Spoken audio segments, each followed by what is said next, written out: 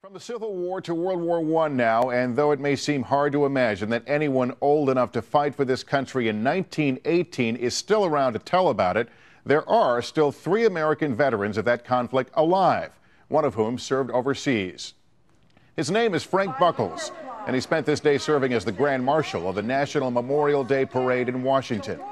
And as NBC's Bob Faw tells us tonight, his memories of and feelings about that time are still sharp.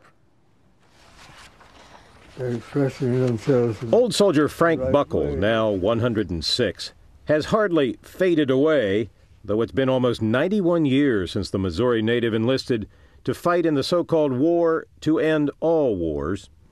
If anybody asked me how old I was, I told them I was 21. 20, and you were 15. After basic training at Fort Riley, Kansas, Buckles joined the ambulance corps and served in France just as the guns were silenced. I felt that everybody else got the glory and I didn't. You were cheated. and when the Great War ended, Frank Buckles came home quietly with no fanfare. Nobody asked me where I had been.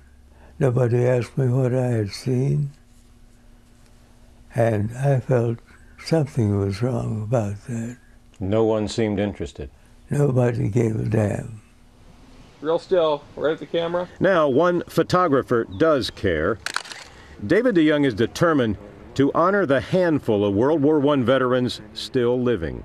When the daily news reflects on the deaths of today's youngest soldiers, uh, America's oldest soldiers seem to be forgotten once again. Frank Buckles shouldn't be a shipping company executive when the Second World War began. He spent 39 months eating from this tin cup as a Japanese prisoner of war. Later, he was awarded the Legion of Honor by the French government.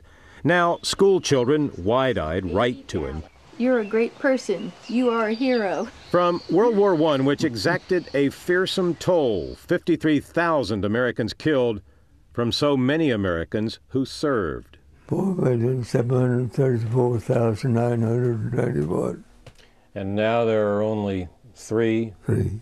Humble and proud then, humble and proud now. Frank Buckles, until the last trumpet sounds, soldiering on. Bob Faw, NBC News, Washington.